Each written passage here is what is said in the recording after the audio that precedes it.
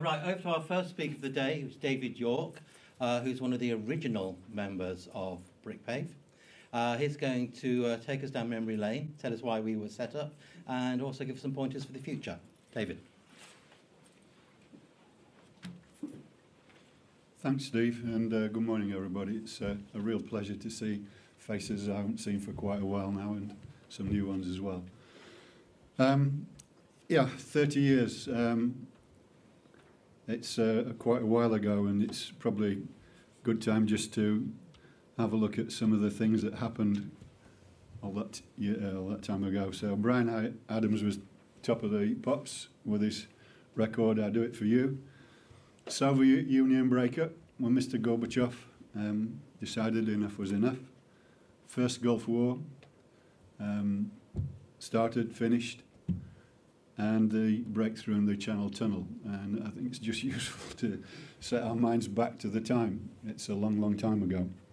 I realised this morning that what I ought to have done was to put up here what big uh, construction projects were at the time, but I didn't, and I can't remember. So uh, Pride Brave was the brainchild of uh, Brian Walker, uh, a very dear man, a lovely man, uh, and I'll always be grateful to him and my good friend John Kennedy uh, for putting my name forward as a possible first council member. Um, so British Cement Association, I, think I'd uh, seen that they could do with an organisation to push concrete roads uh, at the time because concrete roads weren't popular. Um, and it was originally set up as to be a contractor organisation uh, in the belief that um, they would be the ones to push concrete road, uh, the benefits and so on, and try and get Highways England at the time to specify more of them or permit more of them. Um, so this, uh, I put down this list of the original contractors, and at the bottom there's me. I remember going to the first meeting when Mike Welton, who was the uh, MD of Balfour Beatty at the time, chaired the meeting. And there's Patrick Fitzpatrick, and there's directors from all these other contractors, and there's a one-man band at me, and I'm thinking, what the hell am I doing amongst this lot here? But um, I was well accepted, I was treated with respect, and um, after a few meetings, and I got to know one or two of them uh, over the coffee and so on afterwards, I remember one day coming to a meeting and Pat Fitzpatrick said to me, Hello, David, how are you? I said, To be honest, Pat, I've been suffering. I've got these bloody duodenal ulcers. Get yourself down to Harley Street, my boy. I'll tell you the name of the guy to go and see. I said, I can't afford to go to Harley Street. But he, he put me onto a drug called Tagamet, which cured me. Um, so I've got happy memories of those uh, first days. Um, the objective, of course, was to put any competitiveness aside. This was really about trying to create a market that everyone could benefit from.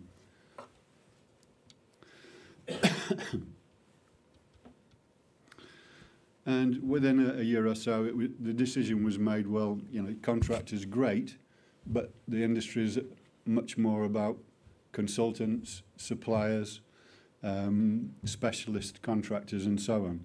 And so we decided to broaden the church and invite new members. And the strategy was to establish the organisation as a source of technical excellence um, and to make a difference, to really try and get uh, some improved market for concrete roads. And as part of that, it was important to set up task groups to look at the different specialities within the organisation and the different markets that could potentially be opened up. Uh, I was fortunate to be on the roads task group looking at CBMs at the time.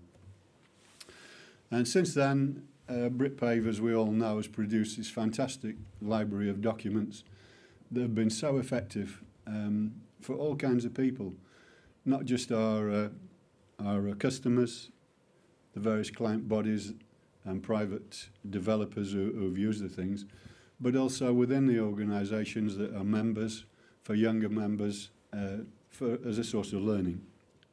They have been fantastic. One of the uh, great successes, of course, was Brick Paved Barrier, Um, I remember when uh, the initial idea was set up and we were looking at barriers in America and around Europe and eventually chose this section. And as we all know, it subsequently uh, was approved.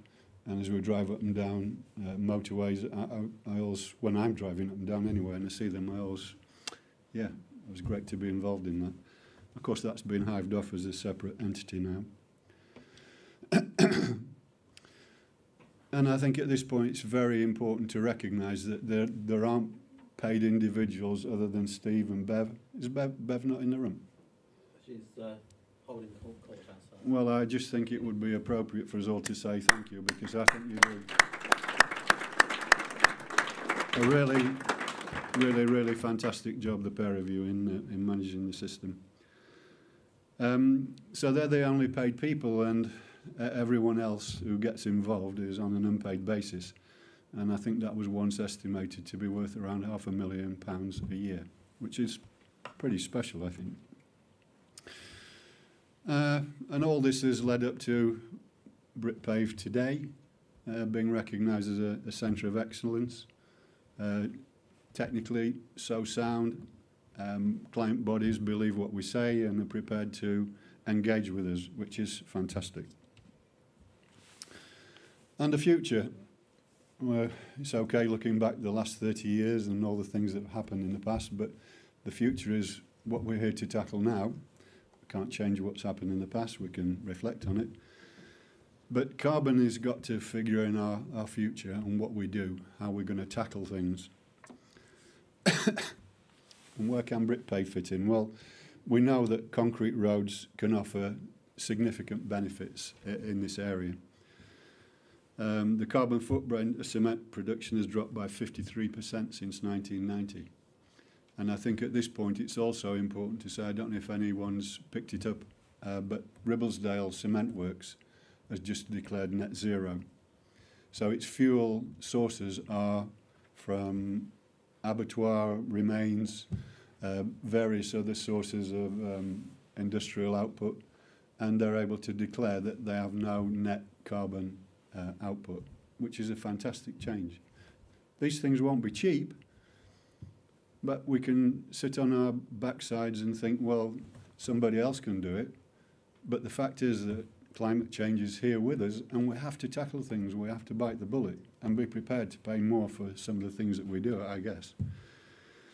I think the other thing uh, I'd just say at this point on that same subject is that the fuel input's one thing, but there's also technology around to capture emissions from things like power stations, energy from waste plants, and maybe cement works and uh, asphalt plants.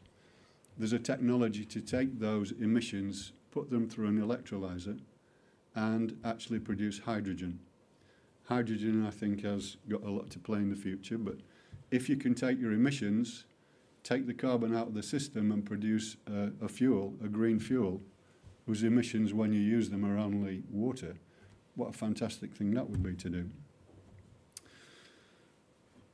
So the other things on concrete roads that can contribute is reduce rolling resistance. And if we can make a 7% fuel saving on our diesel trucks, because you know, like it or not, we can't make the change instantly. Diesel trucks are going to be here for a while. Electric trucks, I don't think so. I think every goods vehicle you'd need a you need a battery the size of a transit van and it's gone 200 miles down the road, needs a recharge, how long is that going to take? They? I, I just don't think it's practical. So we need to get over that. There's another uh, um, potential um, benefit here where there's developing concretes that would absorb um, exhaust pollutants using titanium dioxide. I don't know too much about that, but it, I do know that it's happening. Um, and we've got things like self-healing concrete, another development that could have benefits. And very importantly, and it's just been, Joe mentioned it, the, the whole life cost, not just in financial terms, but in carbon terms. 50-year life for a concrete road, that must be a big benefit. And it's something that we can flag up and compare against asphalt, for instance, and we're, we're definitely in the good place.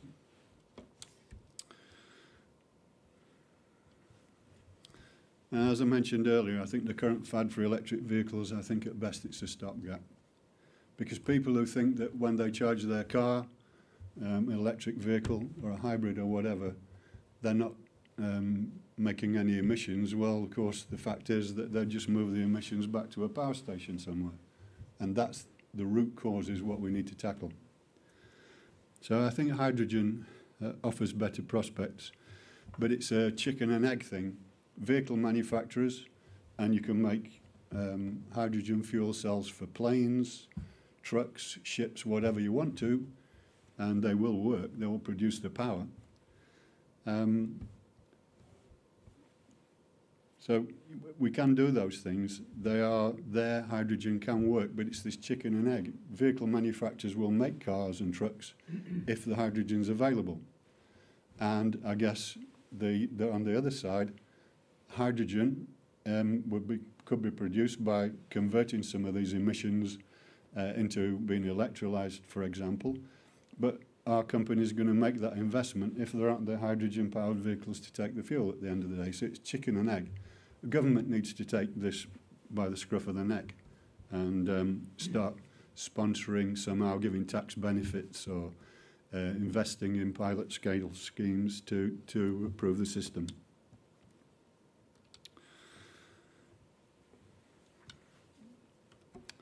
Anyway, whichever of these power sources is used, the benefits for concrete roads are going to be there.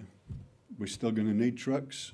I don't see us having Star Trek technology to beam goods from one place to another, not for a little while.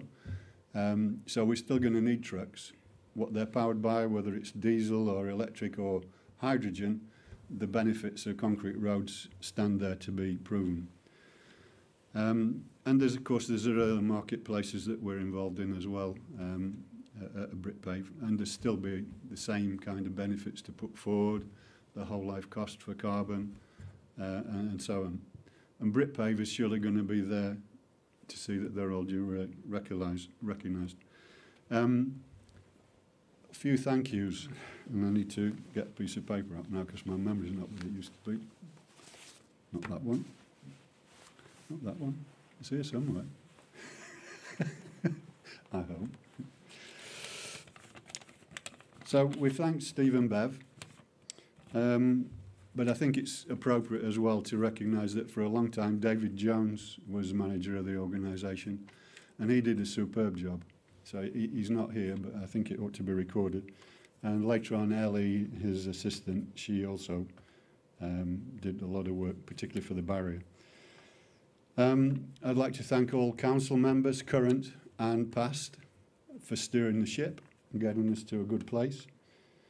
And also task group members, because without their enthusiasm and efforts and so on, a lot of the technical uh, outputs wouldn't have been possible.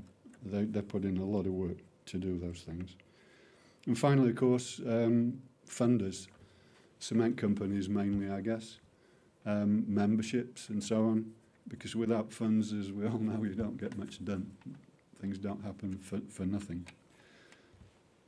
That's my uh, presentation. Thank you.